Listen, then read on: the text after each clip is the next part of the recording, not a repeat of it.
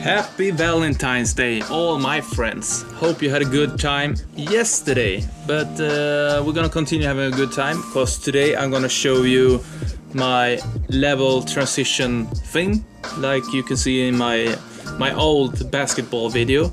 Uh, last week I uh, uploaded uh, a whole blueprint that you can download and use uh, straight into your project from on my Patreon. So if you like what I do and uh, would like to support me, go check out my Patreon and uh, download the blueprint that I'm gonna show you right now. And uh, it's it's uh, quite cool, and hopefully you have good use of it. But uh, let's just jump straight in, and I'm gonna show you how you set it up. And basically, basically this is how it looks when you uh, download the package and import it into your project. Uh, and it's a level streaming blueprint, it's a few materials, and it's a collection of data that you use in the blueprint if you want to. So, uh, how to set it up is basically you start with uh, making your main level, uh, which is the level that you will import all the other levels into. Let's open that up. And this level needs to have a few things. Uh, it needs to have, if you're using Aximmetry, it needs to have the Aximmetry camera. It needs to have the level streaming blueprint and it also needs to have a post-process volume because it's the post-process volume that does the whole transition effect. And make sure that the uh, post-process volume has infinite extent and that this has uh, the post-process material. So, then ah, you can already see it working. Pretty cool. Uh, and to make uh, level, level streaming working, as it's called in Unreal, you have to go up to Window, Levels, and uh, then you just keep starting adding your levels. And uh, I only have, you know, uh, the, the starter map levels in this uh, project, but uh, it, it will do for showing purposes. So here's all our levels and be sure to right click and select change streaming method, method to blueprint and uh, the next thing we're gonna do is go into the level streaming blueprint. And it's uh, it's not much but it's a bit. Uh, I'm gonna show you what the settings you need to do. Uh, and the first setting is at event begin play.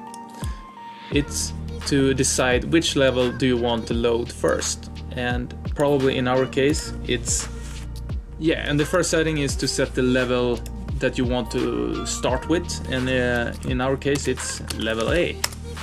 And uh, this just uh, tells it to uh, load level A and make visible after load. Uh, and continuing on we have all the triggers for Aximmetry if you're not using Aximmetry you could just trigger it in whatever way you feel best but in our case, it's uh, we're getting a Aximmetry trigger and we're calling it level 1. And this is how it's gonna show up inside Aximmetry. So you get a button in Aximmetry which calls level 1. And all it does is trigger a custom event and loads level A and triggers the level transition. And so we named the map name exactly as the map name here, level A. And the rest is just another level, which is level B, and name it correctly as the name is in the map. And the next one is the starter map, which is named exactly the same. And this should be everything that you need to do. So let's fire it up and push play. And let's see if it works in Aximmetry then. Level B. Ah, it worked. And let's go to the starter map. Choo! It worked as well.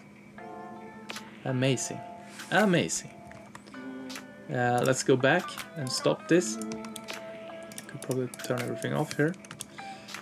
Uh, and we also have some settings because it's it's like a sphere that moves in and out and it's based on the position of uh, the level streaming blueprint compound. So maybe if we zero everything out where did it ah here we are.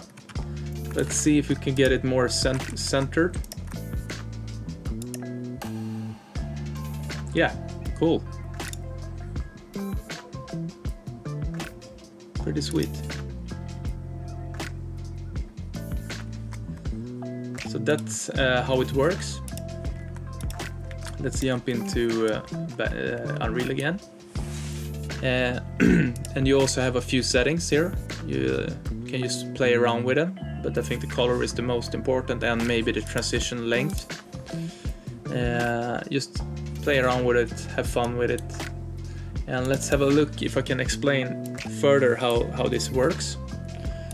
Uh, so basically this triggers a material who looks like this uh, and I don't know it's it's a mishmash of different materials that I material tutorials to make this work.